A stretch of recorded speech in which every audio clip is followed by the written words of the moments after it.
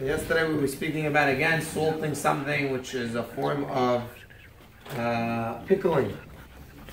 הלכה says, מותר למלוח ביצה קשה או רכה בשבת מפני שאין דרך לכובשה.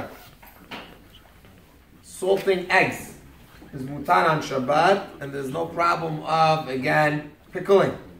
וגם אין המלח מועיל לכך, כל כך.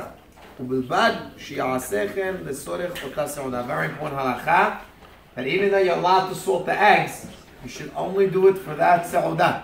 You can't prepare the eggs in the morning for seudat shlishit. You can't do that. You have to prepare the eggs now for the seudah that's now.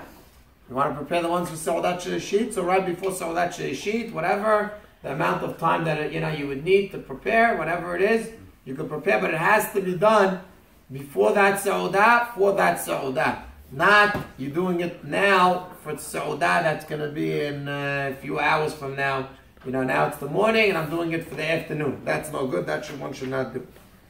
Another halacha, we know that the person is not allowed to smear. Smearing on Shabbat is forbidden. So a guy wants to take cream and smear it on his hands. Can't do that on Shabbat. It's asur. What if I have certain creams that I have to take, what the doctor says, whatever? Okay, so you have to ask your local rabbi what you should do in such a case. Generally, smearing is forbidden. You're not allowed to smear.